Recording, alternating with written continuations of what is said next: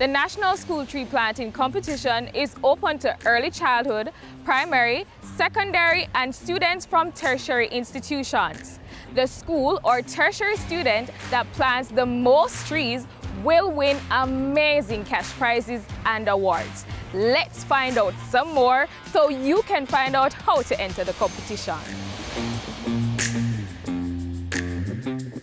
This is an excellent initiative that acknowledges and recognizes the important role our schools have in making sure that our children are not just highly educated, but highly conscious of the role that they have within our society, within our country, and certainly within our world. The National School Tree Planting Competition was launched in September 2022 by the Forestry Department. It aims to increase participation in the government's National Tree Planting Initiative, NTPI. The goal of the NTPI is to plant 3 million trees as part of measures to reduce the impact of climate change. Over 2 million trees have been planted by persons from all sectors since its launch in 2019. The National School Tree Planting Competition is providing fertile soil to grow that number and amplify the involvement of young people. The National Tree Planting Competition is a good initiative because it allows for students to be environmentally educated and it allows them to be actively involved in mitigating the effects of climate change. Students at all levels of the education sector can participate by sourcing and planting fruit and ornamental trees before February 23.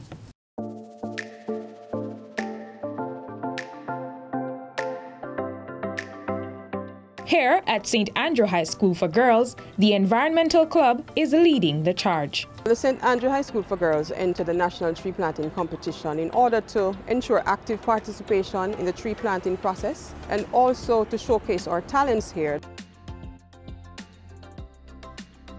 As the Environmental Club President, I often implore the ladies of the club to do anything and everything that they can do to be a good environmental protector. So planting trees, educating their peers and family members, or even just becoming an, an, an, advocate for environmental stewardship. To me, to be able to protect the environment means to be an environmental steward. And I believe with that responsibility, with that knowledge, you should be able to enjoy sharing that knowledge and spreading it with your peers because this is our home and we have nowhere else to go. To enter the competition, visit the Forestry Department's website at forestry.gov.jm for an application form. Complete the application, select the applicable category, institution or student, then submit. Monetary prizes will be awarded in various categories. The main prize is $300,000 for the most trees planted per category. There are also sectional prizes for the most innovative school and most outstanding student and teacher. I challenge our students to be ambitious in their targets and innovative in their approaches and activities. When we visited, St. Andrew High School for Girls was confident the school would do just that. Oh, definitely we will win.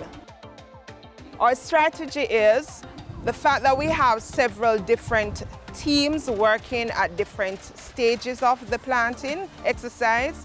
We will definitely be bringing out and ensuring that accountability is done. We have a team who will be managing, measuring, watering, and so this will be consistent. All of this will be calculated over time and recorded as such.